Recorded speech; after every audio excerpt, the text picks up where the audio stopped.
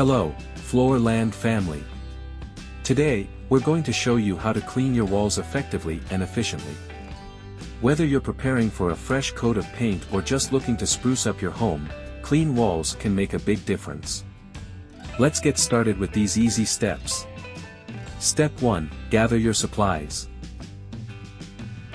First, let's gather all the supplies you'll need, soft cloths or sponges. Buckets. Warm water. Mild dish soap. Baking soda, optional. White vinegar, optional. Duster or vacuum with brush attachment. Microfiber cloths. Ladder or step stool. Step 2, dust the walls. Start by removing any dust and cobwebs from the walls. Use a duster or a vacuum with a brush attachment to clean from top to bottom. Step 3, prepare your cleaning solution. Next, prepare your cleaning solution. For most walls, a mixture of warm water and a few drops of mild dish soap will work perfectly. If your walls have tougher stains, you can add a bit of baking soda or white vinegar to the mix. Step 4, start cleaning the walls.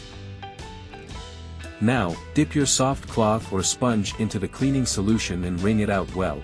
Step 5, tackle stubborn stains. For any stubborn stains, apply a bit of baking soda directly onto a damp cloth and gently scrub the area. Step 6, rinse and dry. After cleaning, it's important to rinse the walls with clean water to remove any soap residue. Use a new soft cloth dampened with clean water and go over the walls again. Step 7, Final Touches. Finally, step back and admire your clean walls. Make any final touches to ensure every spot is clean and streak-free. There you have it, easy steps to clean your walls effectively.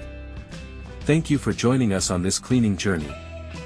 If you found this video helpful, please like, subscribe, and hit the bell icon for more home improvement tips from Floor Land.